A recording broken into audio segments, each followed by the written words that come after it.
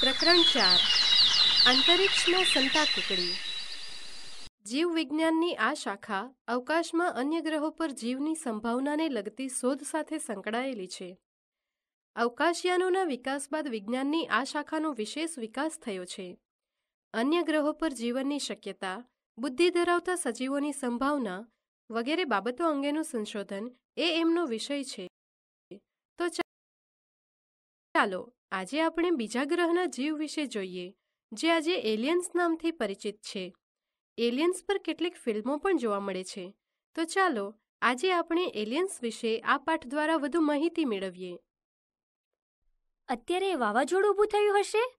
ચાંદની રાતે મીઠાના રણમાં દૂર કશુંક દેખાવાથી મોહિની બહેને પૂછ્યું. અત્યારે વાવાઝોડું તો ન હોય. મંથનભાઈએ પત્નીને ધીરજ બંધાવી. તો પેલું સફેદ ધુમાડા જેવું શું દેખાય છે?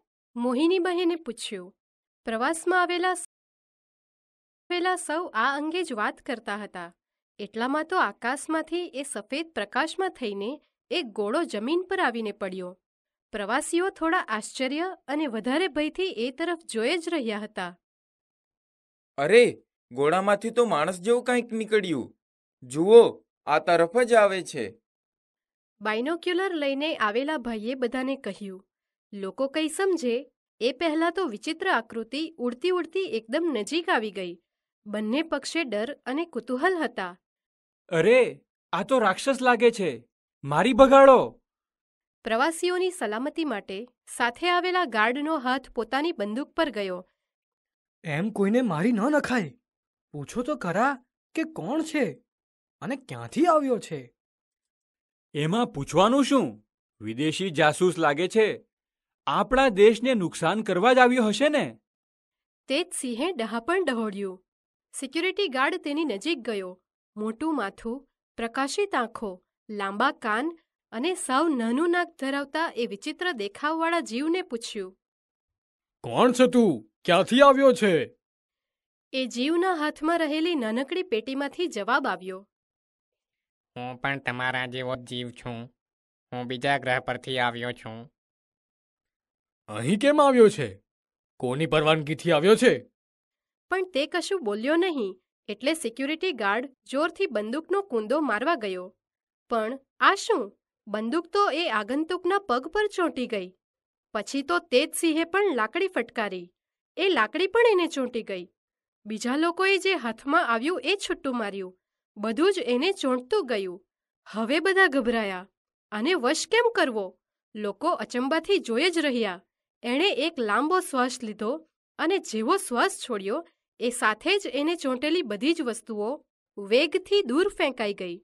બધાને એના સામર્થ્યની ખબર પડી ગઈ હતી. આ તો જાસૂસ નહીં, રાક્ષસ લાગે છે. બકવાસ બંધ કરો તેજસિંહ. આ જણ જે હોય તે, પણ આપણને નુકસાન કરનાર નથી. તમે વિચારો કે આપણે મારેલી વસ્તુઓ જો એણે નીચે રહીને છોડી દીધી હોત તો આપણે બુરી રીતે ઘવાયા હોત ને? તે જ સિંહને હજુય શંકા હતી. એમણે કહ્યું આમ કરીને આપણો વિશ્વાસ જીતી લે અને પછી કોઈ મોટું નુકસાન કરે તો? મિત્રો કહેવાય છે સફેદ પ્રકાશવાળો એક ગોળો આકાશમાંથી જમીન પર આવે છે જેને યુએફઓ તરીકે ઓળખાય છે અને એમાં એલિયન્સ હોય છે. એલિયન્સ મોટા માથા, ચમકતી આંખો, લાંબા કાન અને ખૂબ ટૂંકા નાકવાળા વિચિત્ર દેખાતા જીવો છે. આ પાઠમાં જોવા મળે છે કે તે સ્વભાવમાં પરોપકારી અને તે કોઈને પણ નુકસાન પહોંચાડતા નથી અને શંકા પણ છે, જો તે આપણો વિશ્વાસ જીતવા આમ કરે અને પછી કોઈ મોટું નુકસાન કરે તો? લોકો માને છે, તેઓએ ઘણી વખત આનાથી સંબંધિત પુરાવા પણ રજૂ કર્યા છે, જેમાં કેટલાક વૈજ્ઞાનિકો પણ સામેલ છે. દુનિયામાં એવી ઘણી જગ્યાઓ છે, જેના વિશે એવો દાવો કરવામાં આવે છે કે ત્યાં એલિયન્સ આવતા જતા રહે છે. દ્રષ્ટિપારની સૃષ્ટિ. સામાન્ય રીતે આપણે ઉપગ્રહ શબ્દ એક મશીન માટે ઉપયોગ કરીએ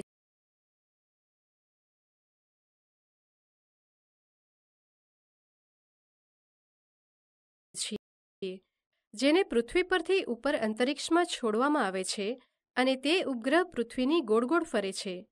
આ ઉપગ્રહ માનવ નિર્મિત હોય છે અને તે માનવ દ્વારા અવકાશમાં છોડવામાં આવે છે અને ત્યારબાદ આ ઉપગ્રહ કક્ષામાં રહીને પૃથ્વીની ગોળ ગોળ ફરે છે.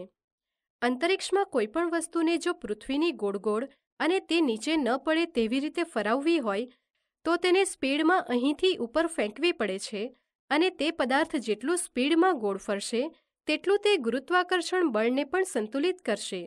અને આ ઉપગ્રહ માનવનિર્મિત હોય છે અને તે માનવ દ્વારા અવકાશમાં છોડવામાં આવે છે અને ત્યારબાદ આ ઉપગ્રહ કક્ષામાં રહીને પૃથ્વીની ગોળ ગોળ ફરે છે. ઉપગ્રહનો ઉપયોગ અવકાશમાં અલગ અલગ પદાર્થો ગ્રહો વગેરે જેવી અંતરિક્ષની વસ્તુઓનું અવલોકન કરવા માટે થાય છે. તો આપણે અંતરિક્ષ વિશે જાણીએ. છોટું કેટલી વાર તને ત્યાં ન જવા માટે ટોક્યો તો? તો પપ્પા કેમ રોજ ત્યાં જાય છે? એમને તો ત્યાં કામ હોય એટલે જાય છે. છોટુ અને તેની મા વચ્ચે આ સંવાદ લગભગ રોજનો થઈ પડ્યો હતો. ત્યાં એટલે ભોંયરામાં જવાના રસ્તા તરફ. છોટુના પપ્પા એ રસ્તે થઈને દરરોજ કામ પર જતા અને પાછા આવતા. સામાન્ય માણસો માટે એ રસ્તે જવાની મનાઈ હતી. નક્કી કરેલી કેટલીક ખાસ વ્યક્તિઓને બાદ કરતા બાકીનાઓને માટે ત્યાં જવાની બંધી હતી. છોટુના પપ્પા એ ખાસ વ્યક્તિઓમાંના એક હતા. પરંતુ આજની વાત જરા જુદી હતી. આજે રજા હોવાથી છોટુના પપ્પા ઘરે આરામ કરતા હતા. માનું ધ્યાન નથી, એમ જોઈને છોટુએ પપ્પાનો સિક્યુરિટી પાસ તેમના કોટના ખિસ્સામાંથી સરકાવી લઈને ભોંયરા ભણીનો રસ્તો પકડેલો. આમ તો ત્યાંની સમસ્ત વસાહત જમીન તળે જ વસતી હતી. આ ભોંયરાનો રસ્તો બોગદા જેવો હતો. અંદર બત્તીઓ હતી અને સામે એક બંધ દરવાજો આગળનો માર્ગ રૂંધીને ઊભો હતો. છોટુએ પોતાના પપ્પાને એ દરવાજામાંથી જતા આવતા જોયા હતા. એણે પણ ખિસ્સામાંથી પાસ કાઢીને યોગ્ય ખાનામાં જ ખોસ્યો. બારણા ઉઘડી ગયા. તે અંદર ગયો. એટલે પેલી બાજુના ખાનામાંથી પાસ બહાર આવ્યો અને બારણા વસાઈ ગયા. છોટુએ પાસ લઈ લીધો અને ચારે બાજુ નજર નાખી. ભોંયરાનો રસ્તો હવે હળવે હળવે ઉપર ચડતો હતો. આજે તેને જમીન ઉપર જવાનો સુયોગ સાંપડતો હતો. પણ ના આજે એવો યોગ ન બન્યો. રસ્તા ઉપર ડોકાઈ રહેલા જાતભાતના નિરીક્ષક યંત્રીની છોટુને ખબર ન હતી. પહેલા જ યંત્ર દ્વારા શંકાસ્પદ પરિસ્થિતિની નોંધ લેવાઈ. આવડી બટકી અમથી વ્યક્તિ, આ રસ્તે આવી કેવી રીતે? બીજા યંત્રે એની છબી પાડીને મોકલી આપી. ક્યાંય એક કેન્દ્રીય કચેરીના યંત્રે તે ચકાસી જોઈ અને શંકાસ્પદ પરિસ્થિતિની સૂચના આપી. યંત્રને છોટુની છબી કેમ શંકાસ્પદ લાગી હશે? આ સઘળી વાતની છોટુને કલ્પના ન હતી. એ તો પોતાની મસ્તીમાં આગળ ને આગળ જતો ગયો. એટલામાં જ ક્યાંકથી એક સામટા દસ ગણવેશધારી એની સામે આવીને ઊભા. એ લોકોએ એને પાછો વાળીને ઘેર લાવી મૂક્યો. માં એની વાટ જ જોતી હતી અને ત્યારબાદ રોજના સંવાદની જરા કડક સ્વરૂપમાં શરૂઆત થઈ, જો કે આજે છોટુના પપ્પા જ એની વહારે આવ્યા. ઊભી રે. હું જ એને સમજાવીને કહું એટલે ફરી વાર એ આવી માથાકૂટમાં ન પડે. આમ જો છોટું હું જ્યાં કામ કરવા જાઉં છું તે બધી જગ્યાઓ જમીનથી ઘણી ઉપર આવેલી છે. સામાન્ય માણસને ત્યાં જવાની છૂટ નથી કારણ કે ત્યાંના વાતાવરણમાં તે જીવી ન શકે. તો પછી તમે કેમ જાઓ છો? હું જાઉં છું એક ખાસ પ્રકારના સ્પેસ શૂટ પહેરીને. મને એમાંથી શ્વાસ લેવા માટે પ્રાણવાયુ મળ્યા કરે છે. બહારની અતિશય ઠંડી સામે મારું એનાથી રક્ષણ થાય છે અને એના ખાસ પ્રકારના બૂટથી ઉપર ચાલી શકાય છે. ઉપર કેવી રીતે હરવું ફરવું એની પણ મને ખાસ તાલીમ આપવામાં આવી છે.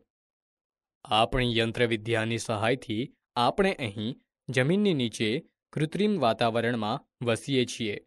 ઉપરના યંત્રોની મદદથી સૂર્યપ્રકાશનો ઉપયોગ કરીને આપણું અહીંનું જીવન સરળતાથી ચાલે છે. એ બધા યંત્ર વ્યવસ્થિત રાખવાનું કામ કેટલું મહત્વનું છે તેનો હવે તને ખ્યાલ આવ્યો હશે. મારા જેવા કેટલાક ખાસ માણસો નિમેલા છે જે રાત દિવસ એ બધા યંત્રો પર નજર રાખ્યા કરે છે. મોટા થઈને મને એવું કામ મળશે? હા પણ એ માટે ખંતથી ભણવું પડે ને મા બાપનું કહ્યું કરવું પડે.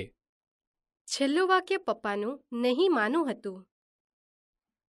બીજા દિવસે છોટુના પપ્પા કામ પર ગયા ત્યારે કંટ્રોલ રૂમનું વાતાવરણ જરા વિચિત્ર હતું. કામની પાળી પૂરી કરીને જનાર ટુકડીના મોવડીએ ટીવીના પડદા તરફ આંગળી ચીંધી. પડદા ઉપર એક ટપકું હતું. ટીવીના પડદા પર ટપકા જેવી દેખાતી વસ્તુ શું હશે? મોવડીએ ખુલાસો કર્યો. એ આકાશમાંના કોઈ તારા નથી, એની મને ખાતરી છે. કારણ કે છેલ્લા કેટલાક કલાક દરમિયાન એનું સ્થાન બદલાતું હોવાનું આપણું કમ્પ્યુટર જણાવે છે. કમ્પ્યુટરના મત મુજબ તે વસ્તુ આપણા ગ્રહની દિશામાં આવી રહી છે. કોઈક અવકાશયાન તો નહીં હોય? અમને એવી દ્રઢ શંકા છે જ. તમે પણ તેના પર નજર રાખજો. મોવડીએ જતા જતા સૂચના આપી. છોટુના પિતા વિચારમાં પડી ગયા. અવકાશયાન? ક્યાંથી આવતું હશે? સૂર્યમંડળમાં આપણા સિવાય બીજે જીવસૃષ્ટિ ક્યાં હશે? એ શક્ય જ નથી. હોય તો અવકાશયાન મોકલવા જેટલી સુધરેલી તો ન જ હોય. આપણા પૂર્વજો પણ અવકાશયાન, ઉપગ્રહ વગેરે વાપરતા હતા, પણ આપણે માટે હવે તે શક્ય રહ્યું નથી. પહેલાં જેટલી ઊર્જા જ નથી રહી, એટલે એ બધું પરવડે જ કેવી રીતે? વસાહતમાં વ્યવસ્થાપક સમિતિની બેઠક ભરાઈ હતી. અધ્યક્ષ ભાષણ કરતા હતા. એક યાન આપણી આસપાસ ચક્રાવો લે છે. બીજું હજી દૂર છે, પરંતુ આવે છે અહીં જ. આ યાનો પડોશના ગ્રહમાંથી આવતા હશે તેમ આપણા કમ્પ્યુટરને લાગે છે. આપણે શા પગલાં લેવા તે નક્કી કરવું જોઈએ? નંબર એક તમારું શું માનવું છે? નંબર એક પાસે વસાહતના સંરક્ષણની જવાબદારી હતી. કાગળિયા એકઠા કરતા કરતા એમણે બોલવાની શરૂઆત કરી. તેમને અવકાશમાં જ નકામા બનાવી દઈને નીચે ઉતારવા હોય તો તે માટેના યંત્રો આપણી પાસે નથી. હા જો તે પોતાની મેળે નીચે ઉતરી આવે, તો પછી તેમને નકામા બનાવી દેવાનું સામર્થ્ય આપણી પાસે છે ખરું? મને મળેલી માહિતી મુજબ, આ યાનોની અંદર માત્ર યંત્રો જ છે. કોઈ જીવ નથી. નંબર એકનું કહેવું મને વાજબી લાગે છે. પણ આ યાનોને ખોટકાવી નાખવામાં એક જોખમ સમાયેલું છે. એ નકામા થતા વેત તેના મોકલનારાઓને આપણા અસ્તિત્વની ખબર પડી જશે. મને લાગે છે કે આપણે આ યાનોને છંછેડીએ જ નહીં અને માત્ર નિરીક્ષણ જ કર્યા કરીએ. તમે ત્યાંના વિજ્ઞાની હો તો તમે શું મંતવ્ય આપ્યું હોત? અધ્યક્ષ કાંઈ બોલે તે પહેલાં જ તેમની પાસેનો ફોન રણકી ઉઠ્યો. તેમણે રિસીવર કાને લગાડ્યું અને એક મિનિટમાં જાહેરાત કરી. સજ્જનો એક નંબરના યાને આપણી જમીન ઉપર ઉતરણ કર્યું છે. છોટુના પપ્પા સહિતના વિજ્ઞાનીઓ યાનનું દિવસરાત નિરીક્ષણ કરતા રહ્યા. કેટલાક સમય પછી છોટુના જીવનમાં અગત્યનો દિવસ ઉગ્યો. આજે તેના પપ્પા તેને જમીન તળે આવેલા કંટ્રોલ રૂમમાં લઈ આવ્યા હતા. અહીંથી એક નંબરનું યાન સ્પષ્ટ દેખાતું હતું. કેવું વિચિત્ર દેખાય છે. એમાં શું હશે? તે કાંઈ હાલમાં તો કહી ના શકાય. હજી આપણે દૂરથી તેનું નિરીક્ષણ જ કરીએ છીએ. પણ એના એકે એક ભાગ ઉપર આપણો કાબુ છે. અલબત્ત, કટોકટીની પડ ઊભી થાય નહીં તો આપણે કોઈ પણ નિયંત્રણોનો ઉપયોગ કરવાના નથી. યાનમાંથી એક યાંત્રિક હાથ બહાર આવવા લાગ્યો હતો. હાથ લંબાતો જતો હતો. ઘણું કરીને જમીન ઉપરની માટી કાઢવાની એની યોજના હશે તેમ લાગતું હતું. છોટોના ડોળા નિયંત્રણ બોર્ડની પેનલ પર હતા. એમાંનું એક લાલ બટન દાબવાની અદમ્ય ઈચ્છા એ રોકી શક્યો નહીં. જોખમની ઘંટડી વાગી ઉઠી. બધાની જ આંખો પેનલ તરફ વળી. એક લપડાક મારતાકને પપ્પાએ છોટુને બાજુએ કર્યો અને એણે દાબેલી સ્વિચ યથાસ્થાને લાવી દીધી. પરંતુ યાનના યાંત્રિક હાથનું હલનચલન થંભી ગયું હતું. એમાં કંઈક બગાડ થયો હતો. હવે શું થશે? National aeronautics and space administration એટલે કે નાસા તરફથી પ્રસિદ્ધ કરવામાં આવેલા નિવેદન તરફ સહુનું ધ્યાન ખેંચાયું. મંગળ ઉપર હમણાં જ ઉતરેલું અવકાશયાન, વાઇકિંગ વન, અગાઉથી ઠરાવ્યા મુજબની કામગીરી બજાવતું જાય છે. પરંતુ અજાણ્યા કારણોસર તેના યાંત્રિક હાથમાં બગાડ પેદા થયો છે. નાસાના તંત્રજ્ઞોએ રિમોટ કંટ્રોલ વડે વાઇકિંગ વનમાં પેદા થયેલો બગાડ સુધારી લીધો છે. હવે એ યાંત્રિક હાથ પૂર્વવત કામે લાગી ગયો છે અને મંગળના પડ ઉપરથી માટીના નમૂના એકઠા કરવા લાગ્યો છે. આ માટીના નમૂનાઓ ભણી વિજ્ઞાનીઓ ઉત્સુકતાથી મીટ માંડીને બેઠા હતા. આ લાલ ગ્રહ ઉપર જીવસૃષ્ટિ હશે કે નહીં એ પ્રશ્નનો જવાબ મળવાની શક્યતા એ નમૂનાઓના અભ્યાસ દ્વારા પરખાશે એવી એમને આશા હતી. પણ વાઇકિંગના પ્રયાસ પછી આ બાબતનો જવાબ નકારાત્મક ઠર્યો. મંગળ ઉપર જીવસૃષ્ટિ હોવાનો રજમાત્ર પુરાવો પૃથ્વી પરના વિજ્ઞાનીઓને સાંપડ્યો નહીં.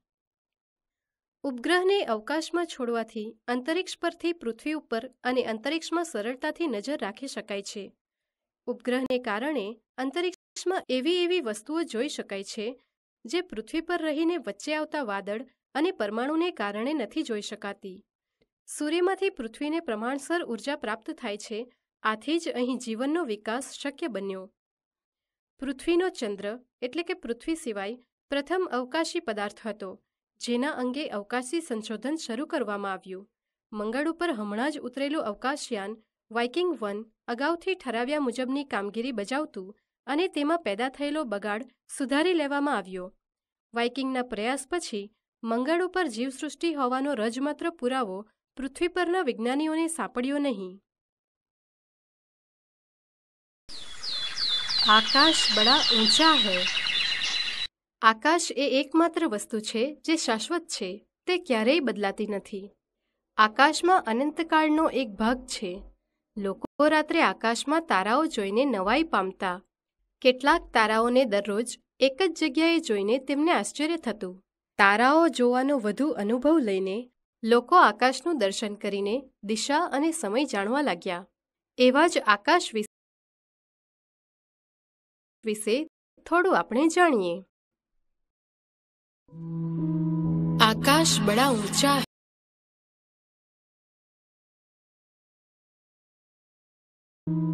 आकाश बड़ा ऊंचा है और दूर बहुत में तारे फिरते हुए सैकड़ों सूरज ब्रह्मांड के ये बजारे आकाश बड़ा ऊंचा है सदियों के भंवर बहते हैं अनगिनत है समय के धारे, और नीला सा एक मोती। कहते हैं, जमी हम सारे।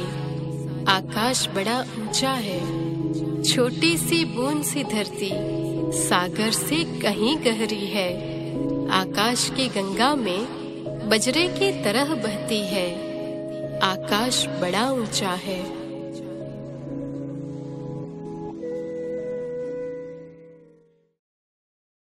પ્રાગૈતિહાસિક સમયથી આકાશ તેની સુંદરતા અને રહસ્યથી માણસને આકર્ષે છે. આકાશ વાદળી અથવા આછો વાદળી રંગનું હોય છે. આકાશ ખૂબ જ ઊંચું છે. તેમાં અગણિત તારાઓ છે. સૂર્ય આકાશમાં તેજસ્વી રીતે ચમકે છે. સેંકડો સૂરજો આકાશમાં ફરે છે. એટલે કે સૂરજ પણ એક તારો છે. ઉપર આકાશમાંથી પૃથ્વી એક નીલા રંગના મોતી જેવી દેખાય છે. નાના એવા બુંદ જેવી દેખાતી ધરતીમાં સમુદ્ર કરતાં પણ વધારે ગહેરાઈ છે, કારણ કે આ સમુદ્રો પૃથ્વી પર આવેલા છે. પૃથ્વી આકાશગંગામાં વહાણની જેમ ફરે છે.